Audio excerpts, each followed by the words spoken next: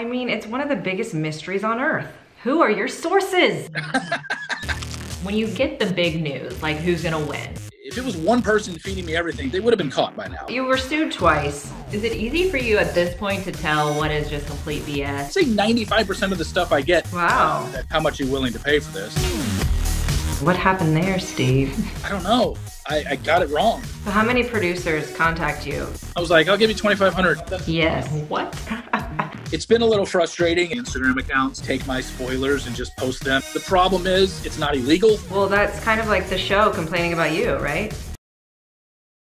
Let's get back to the sources. Um, Well, don't hang up on I mean, you- you left us. Oh my word. We are joined by Reality Steve, aka Steve Tacos Al Carbone. It is so nice to have you here. I haven't heard tacos al carbone for. Did you just think of that, or did you hear that somewhere else? I just went to dinner at a Mexican restaurant and it was on the menu, and I thought that reminds me of Reality Steve. That's a good one. I haven't heard that in a while. I used to get called that a lot. All right, well, let's just jump right into where we are with Pilot Pete. We're not going to ask you for a lot of spoilers in this interview. This is mostly about you, but we do want to know where are they in filming as far as what episode are they on? They're starting episode five this week. Okay, so then that means how many women remain? 12. 12 already. Yeah, we're already down. We're already down to 12. The funny thing is, and I, people don't. It seems to come up every season. People don't seem to realize it. In that, whatever number you start with, usually 25 to 30, it takes one month in real time to get from the starting point down to your final four, and then it takes three weeks to get from four down to one. So when is it that you feel the most intel? Is it during the first few weeks or what is what does it look like for you?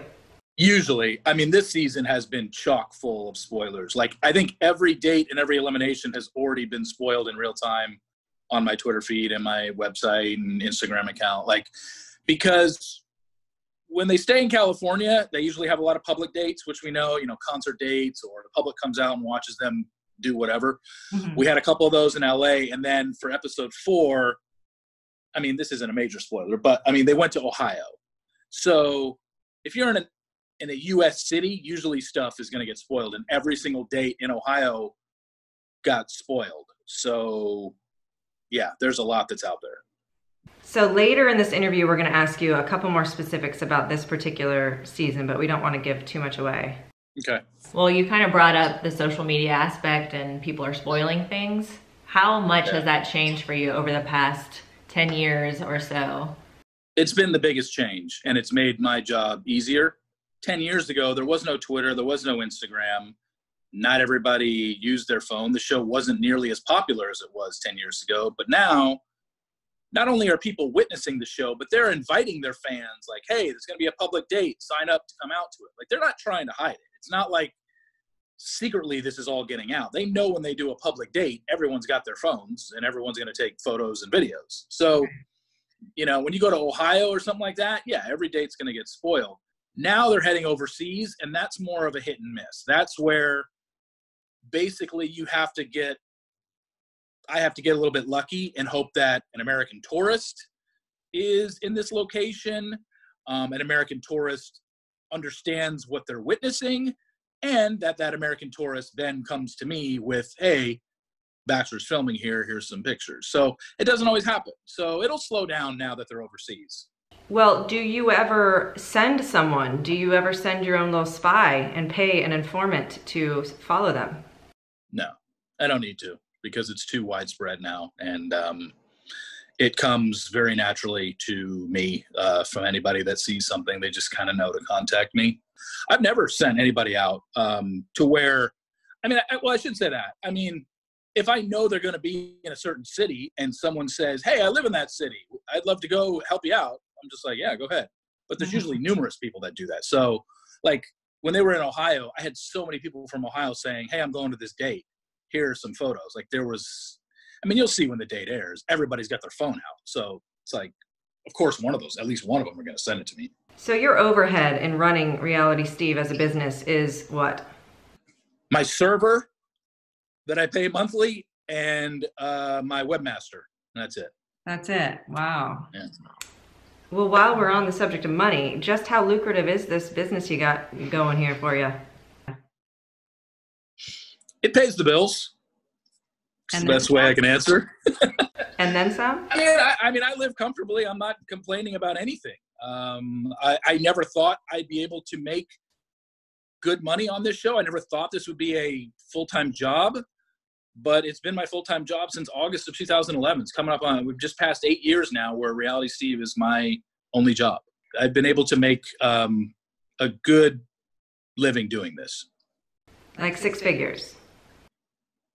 Oh, yeah. mm-hmm. Oh yeah, he says with confidence. Well, I, I mean, I only say that only because I think it was covered in a few interviews that have been done with me where it got brought up, and it wasn't like, again, it wasn't these things where I offered it. It was a kind of a question like yourself, like, do you make six figures? I, yeah, I don't know how to answer that. I, I guess I could say no comment, but That's boring though. Come on. at this at this point, it's just like, yeah, six figures. But is it low six figures? Is it high six figures? I mean, it's it's it's it's a comfortable living. Put it that way. When you get the big news, like who's going to win at the end of it, where is that information coming from? And are people reaching out to you? Like, I'm friends with Jed. I know he won. Pay me X amount, and I'll, or he doesn't say that obviously, but he says, pay me X amount, and I'll tell you. anybody that asks me to pay them is immediately dismissed. I don't pay for information. I don't need to. I got too many contacts for this show now. If it was one person feeding me everything, they would have been caught by now. Like it, the show's gotten too big for its own britches, and there's too many people that know things, and too many people that know things that want to tell me it. So I, I can't even specify something like that. Plus, I would never give away how I got the ending or where I got it from. But Yeah. usually, when I get an ending, there are a couple things that go into it. One, who's telling it to me? Two, how do they know? And three, is it someone that has told me something before in the past? Like I have to go through this vetting process of because anybody can email me when filming's over and says, "Hey, I heard so and so won." Okay, but that's not good enough. How do you know?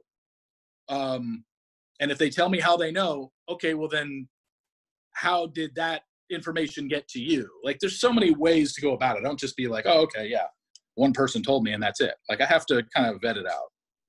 So how many producers contact you each season? really? Zero. Really? Mm-hmm. There's no way these producers would ever risk their job by contacting me. Yeah. It just wouldn't happen. Well, did you know? I guess it was, what year was that? I don't know. Many years ago, a friend of ours was producing for the show, and Mike Fleiss hired an investigator to try to find who is the mole that is giving Steve all of this intel. Yeah, that's funny. Everyone sent me that clip from that show that you did with her. Um, that was funny. Yeah, I heard about that. I heard that he did. He called. Uh, they they hired an investigator. They brought a bunch of former contestants in and just grilled them. And all these contestants are like, I don't know what he's. I don't know where he gets his info from. Why are you asking me? So it went nowhere. So it was funny though, but it did happen. She was right about that, from what I've heard. You were sued twice. Obviously, one of them involved trying to pay a contestant, which which was where the you know the the problem lay, I guess. Um, Yeah. How do you now continue doing what you're doing? Uh, the best way to answer it is people like to tell me stuff. I guess people want to feel part of something. It's really no different why anybody that's at a public date or sees some sort of filming immediately contacts me and says, "Hey, here are some pictures or whatever." They just want to feel a part of it. Uh, I know people are so flabbergasted that people aren't asking for payment. Um, I'd say one out of every 20 things that get sent to me, someone says, how much are you willing to pay for this? And then I'm immediately like, I don't pay for info. I'll get it somewhere else. Um, but yeah, people just want to feel a part of it and they just like to send me stuff. And then I just have to vet out what I'm sent. But I, I really don't need to pay for anything because it eventually will get to me. Is it easy for you at this point to tell what is just complete BS and what is actual info? Because I feel like you would be inundated constantly. Honestly, I think most people that do email me are looking to help. No many, not many people are looking to screw me over and give me false information on purpose. It's happened in the past, um, but it's very rare. Most people want to help. And most people want to give me information that hey i think this could help you with uh, spoiling for this particular season. Um, but in terms of what i get if it's an email and it's no punctuation and poorly worded oh this happened. It's just like okay i need i need i need a little bit more than that. I need i need you to be able to formulate a sentence to tell me what's going on. Um, but most of the time it's it's like I said, most of the time, I, would say 95% of the stuff I get ends up being right. Wow. Uh, that's, that's, told to me. It's, it's very, very little stuff could get lost because, because it's coming from someone that might be contacting me for the first time. Stuff sometimes can get lost in translation and maybe like a small detail of the main picture is missed, something like that. But for the most part, it's pretty straightforward. Do you think you're the Bachelor franchise's biggest thorn, or do you think they actually appreciate the publicity and the little boost you give them?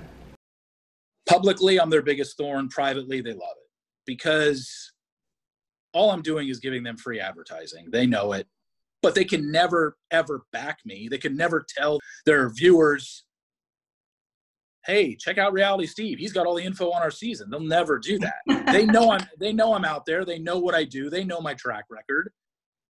So they can't address, so they just don't address me. I mean, I, you guys cover the show, you watch the show, you probably read a lot of interviews. You've seen a lot of interviews with contestants, Chris Harrison, whoever. How many times have any one of these interviews ever brought up my name? They just don't because they're not allowed to.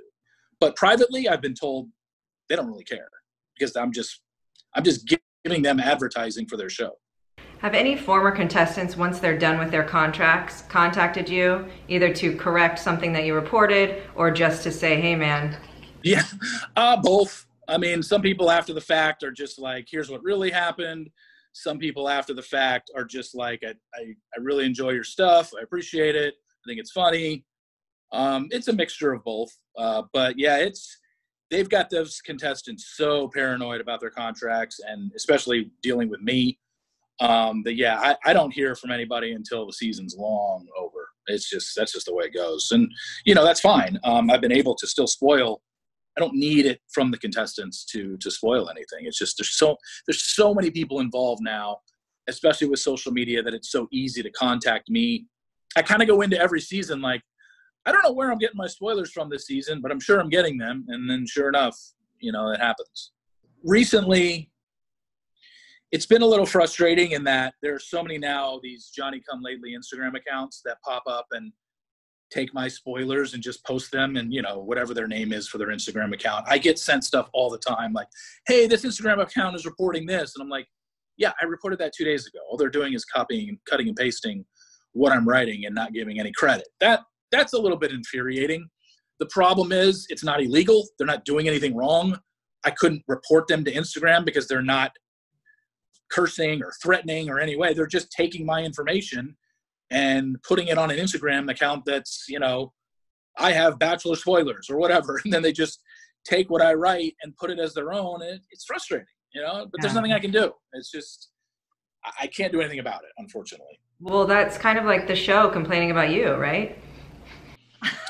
Yeah, I mean, yeah. What can they do? Um, because I'm not doing anything illegal. It's a good point. No, yeah. it's the same exact thing. What happened at the end of Hannah season with your spoilers? Yeah.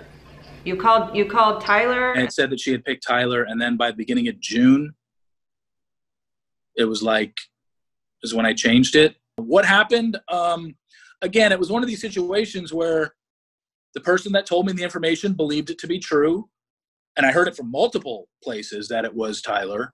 So I was like, it must be true. Multiple people are telling me this, and it just ended up not being true.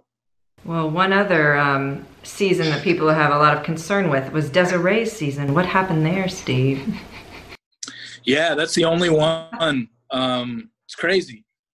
That's the only one that I've ever gotten wrong from beginning to end. Everyone else I was wrong about, I was able to get the correct spoiler well before the finale aired. That one, up until finale night, I still thought she was with Brooks. I don't know. I, I got it wrong, and um, it was God. It was so long ago. I don't even remember like the information I was getting and how I was getting wrong. I think I just kind of went with something without maybe vetting it as much as I should have. Uh, I just I got it just it was wrong. There was there was really no excuses for it. Tayshia and JPJ, are they still together right now? What's going on there? I think so. Just based on what I'm seeing, I thought they were done. I thought they were broken up, but it looks like they're together based on what I'm seeing. Um, is this going to be long term, and are these two going to get married? No, not a chance in hell. But let them let them enjoy their little fling for the next three six months, and they'll be moving on to bigger and better things. I'm sure. I mean, it's one of the biggest mysteries on earth. Who are your sources? um. Well, don't Good hang up on us. I mean, you, you left us. No, I got. I have another call coming in. Um, decline. Is it a source? Is it a producer? What's No, happening? Who was it? My Was that sister Mike just Your sister? Yeah, my sister just called. Let's get back to the sources. I mean, if, if I told you, I'd have to kill you. I mean, I, it's you know, simple as that. I mean, That's all right. Exactly. yeah, I, I, um, I mean, there's just, just know that there's so many people out there that want to and love to tell me stuff. That was safe, Steve. That was a real safe answer. Very safe. What did the, uh, what, the producer that you guys had on also said something else about me that I, I can't remember what it was. Was it when she said that um, Mike Fleiss is the one who actually pays you? That's funny. That's funny. I, I mean, there are people there out there that think, you know, that I'm on ABC's payroll, which uh, uh, it couldn't be further from the truth. If you've ever listened to anything that I've said in a podcast or written about this show, I think you would understand that I'm certainly not a fan of this franchise, and I report all the negativity that goes on behind the scenes and stuff that they don't want people to know. So I don't know how I would be being paid by them. That doesn't make any sense. But I guess people love their conspiracy theories. Um, okay, we want a little a little spoiler, not like a big spoiler for don't give us something huge that's gonna make us angry about Pilot Pete, but just something a little bit that maybe our viewers would like to know, but not that's gonna ruin the season if they don't want spoilers. Okay, we, we have a repeat storyline from Colton season. Uh, we have two pageant girls on this season that butt heads. Oh. Now, here's the thing that's different. Going into last season, it was well known because they were talked about it on the first episode. Hannah Brown and Caelynn did not like each other. Like they were friends during the pageant world.